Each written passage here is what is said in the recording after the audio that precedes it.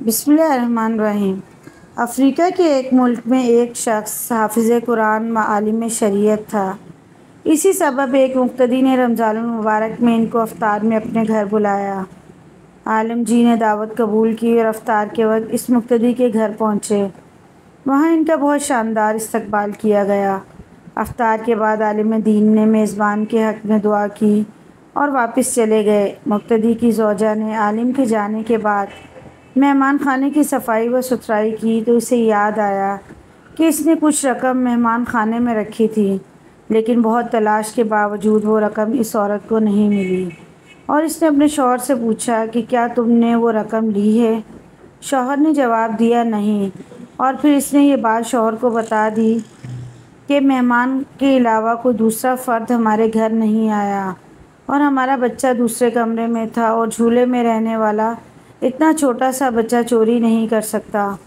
Bill आखिर दोनों इस नतीजे पर पहुँचे कि रकम मेहमान ने चोरी की है और ये सोचते हुए मेज़बान के गम गुस्से की इंतहा ना रही कि ऐसा कैसे हो सकता है कि हमने इतनी इज़्ज़त व एहतराम के साथ अपने घर बुलाया और उन्होंने ये गलत काम किया।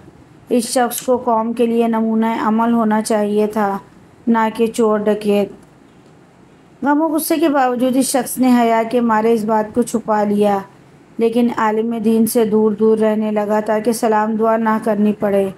इसी तरह साल गुजर गया और फिर रमज़ान मुबारक आ गया और लोग फिर इसी ख़ास मोहब्बत और जोश व खरोश के साथ आलिम दीन को अपने घरों में अफ्तार के लिए बुलाने लगे। इस शख्स ने अपनी जोजा से कहा कि हमें क्या करना चाहिए। मौलाना साहब को बुलाएँ या नहीं? जोजा ने कहा, बुलाना चाहिए। क्योंकि मुमकिन है मजबूरी के आलम में उन्होंने वो रकम उठाई हो। हम उन्हें माफ़ कर देते हैं ताकि अल्लाह करीम भी हमारे गुनाह माफ़ कर दे। और फिर इस शख्स ने मौलाना साहब को इसी इज़्ज़त व एहतराम के साथ अपने घर अफ्तार पर बुलाया और जब अफ्तार वगैरह से फारिग हो गए तो मेज़बान ने मेहमान से कहा, जनाब, आप मतवजह होंगी कि साल भर से आपके साथ मेरा रवैया बदल गया है। आलिम ने जवाब दिया हाँ। लेकिन ज़्यादा मसरूफियत की वजह से मैं तुमसे इसकी वजह मालूम ना कर सका। मेज़बान ने कहा, किबला, मेरा एक सवाल है और मुझे उम्मीद है कि आप इसका वाज जवाब देंगे। पिछले साल रमज़ान मुबारक में मेरी जोजा ने मेहमान खाने में कुछ रकम रखी थी और फिर वो रकम उठाना भूल गई। आपके जाने के बाद, ढूँढने के बावजूद वो रकम हमें नहीं मिली।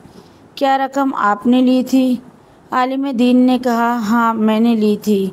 मेज़बान हैरान परेशान हो गया और आलम जी ने अपनी बात जारी रखते हुए कहा, जब मैं मेहमान खाने से जाने लगा तो मैंने देखा कि काउंटर पर पैसे रखे हैं।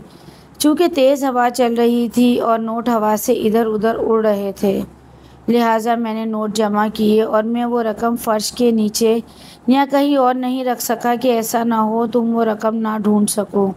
और परेशान हो जाओ। इसके बाद आलिम ने ज़ोर से अपना सर पीटा और ऊँची आवाज़ में रोना शुरू कर दिया।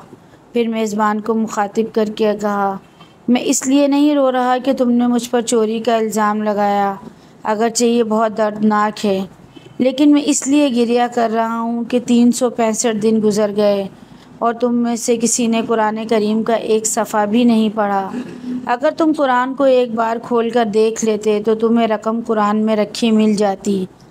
यह सुनकर मेज़बान बहुत तेज़ी से उठकर कुरान मजीद उठा कर लाया और जल्दी से खोला और उसकी मुकम्मल रकम कुरान मजीद में रखी नज़र आ रही थी। ये हाल है आज हम मुसलमानों का कि हम साल भर में भी कुरान नहीं खोलते और अपने आप को हकीकी और सच्चा मुसलमान समझते हैं। मज़ीद ऐसी वीडियोज़ के लिए चैनल को ज़रूर सब्सक्राइब करें। वीडियो पसंद आए तो लाइक, शेयर, कमेंट कीजिए।